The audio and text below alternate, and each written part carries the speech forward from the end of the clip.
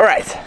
Dames en heren, jongens en meiden, een hele goede morgen. Het is zondag, we zijn nog in uh, Ursem bij General Cars Parts. Maar ik heb vandaag iets te horen gekregen wat, uh, wat minder fijn, wat minder gezellig was. Ik was bezig met een Focus in Nederland. Ik was de allereerste die erop reageerde. Ik wilde langskomen, maar mijn mail was dankzij Oudscout niet aangekomen.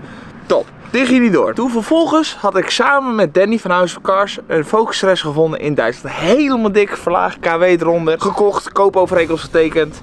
Vandaag de dag worden gebeld. Jongens, ik heb hem verkocht aan iemand anders. Jullie krijgen de. Zoek hem maar uit. En kijk maar wat je doet. Dus, tweede Focus in de week tijd die door mijn neus wordt geboord. En ik heb een beetje het idee dat iemand mij iets probeert te vertellen. En ik was al langzamerhand een klein beetje aan het oriënteren naar andere opties. En ik wist toevallig dat hier in de buurt van Ursem staat een hele dikke andere auto. Een auto die jullie waarschijnlijk niet hadden verwacht, die ik nu ga uitspreken. Maar we gaan langs bij Centraal, exclusief. Er staat een hele dikke Golf R.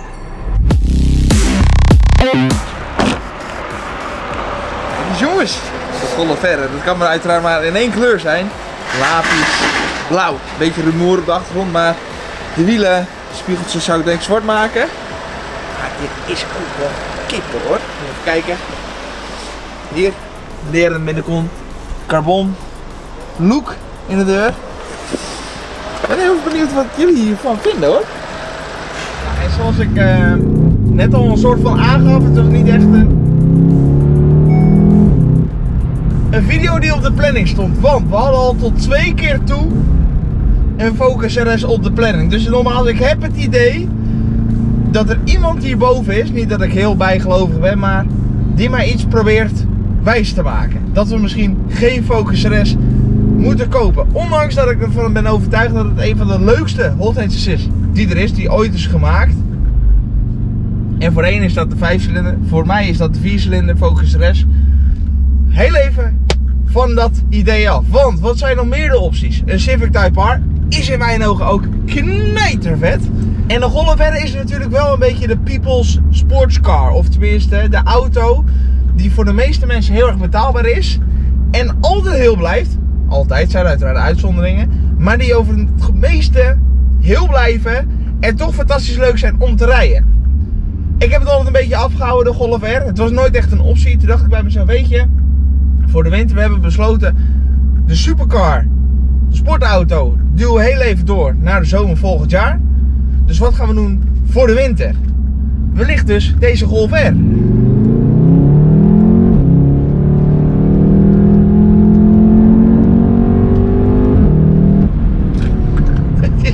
Hoor. DSG natuurlijk, launch control, alles erop, 300 pk, 4 cilinder. En ik hoorde net van Brian, de eigenaar, of tenminste de mede-eigenaar van Centraal Exclusief. Stage 2, intercoolertje, downpipe erop. 400 pk en 520 Nm aan koppel uit een 4 cilinder. En dat blijft dus gewoon heel jongens. Ik, ik kan er niet helemaal bij. We hebben inderdaad de lederen bekleding met een carbon geruite interieur.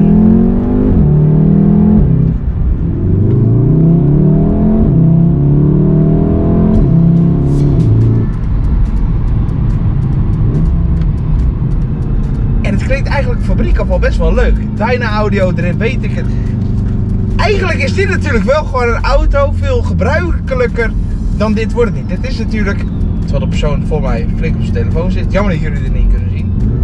Het is wel een stukje gebruikelijker dan een Focus RS. Focus RS is natuurlijk wat harder, handgeroerd, wat nogmaals erg vet is in mijn ogen. Maar net even wat minder gebruikelijk dan een Golf R. 7 traps, we hebben verschillende rijmodi. We hebben race, we hebben eh, algemeen, we hebben comfortabel, ongeveer comfortabel. Digitale cockpit, Apple CarPlay. En natuurlijk niet de nadelen van Ford, maar het is wel wat meer up-to-date.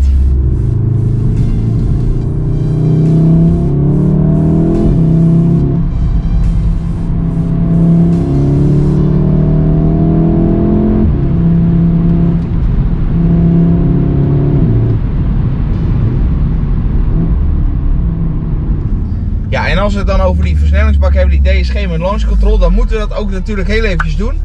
Het is 4 graden.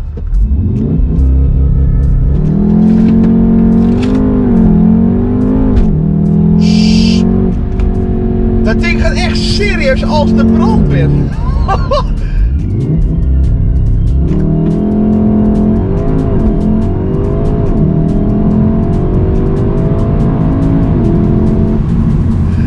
heb nog nooit in een Golf R gereden. Ik heb wel een keer meegereden en het is misschien een hele klinische auto. Tenminste, het is een auto die heel erg goed is. De versnellingsbak is heel erg goed. Het gaat heel erg hard. Het gaat heel erg makkelijk. Ik ga er steeds sneller van praten.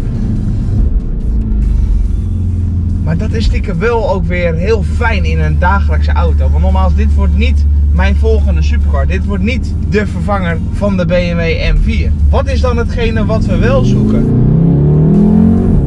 Uiteraard moet het gewoon erg snel zijn. Moet het leuk klinken? Nou, dat doet het op zich. Jezus, gaat echt hard. En niet vliegen, niet vliegen, niet vliegen. Dankjewel. Het moet gewoon lekker praktisch, lekker gebruikelijk zijn. En in die zin ook relatief goed te betalen. Want deze, waar we nu in rijden, Golf R, Lapis Blauw, de goede wielen eronder. 64.000 kilometer, net door de 60 heen. 31.000 euro. En dan heb je wel gewoon voor dat geld heel veel auto natuurlijk.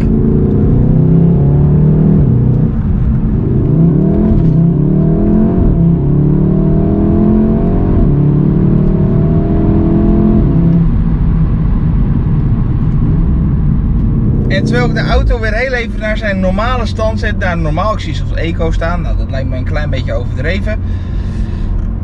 Die gaat weer naar ingeschakeld. De klep van uitlaat gaan weer iets dicht. Ga ik de volgende vraag beantwoorden die ik nu in jullie hoofd zie rondspelen. Sammy rijdt nu momenteel een BMW M4. Je hebt een BMW M4 gereden. Waarom kijk je nu naar een Golf 7R en niet naar een 8R? Nou, dat vind ik een hele goede vraag.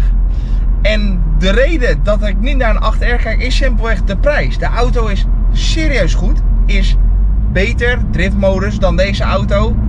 Sneller uiteraard, nieuwer uiteraard. Maar die auto gaat nog zo idioot veel afschrijven dat het simpelweg voor mij gewoon geen optie is.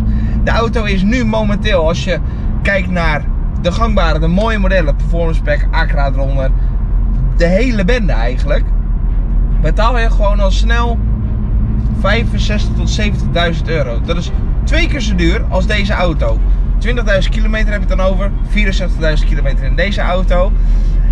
En dan kan je een klein beetje gaan inschatten wat die auto over het algemeen gaat doen qua afschrijving. Dus op het moment dat we nu 70.000 euro voor een Golf betalen, nou misschien een B2-auto, dus dan krijgen we nog een beetje terug. Dan vervolgens moeten we een klein beetje verrekenen. Maar inderdaad, een Golf 8R gaat sowieso in een jaar tijd 15.000 euro afschrijven. Deze auto, ik weet niet eens welk jaar die komt, maar die heeft al het gros van zijn levenstijd erop zitten. Dus die gaat niet meer, of tenminste vrijwel niks meer afschrijven. En dat is de reden dat ik naar deze auto kijk. Het is een auto die ik voor de winter ga gebruiken, die leuk moet zijn, waar we veel toffe dingen mee kunnen doen. Het is een hele haalbare auto voor denk de meeste mensen die dit kanaal volgen. 30.000 euro, ja, normaal de People's Sportscar. Het is een auto die voor heel veel mensen een soort van haalbaar is. Daar kunnen we dus ook heel veel toffe content mee maken, zonder dat we weer kijken naar een auto die onwijs duur is.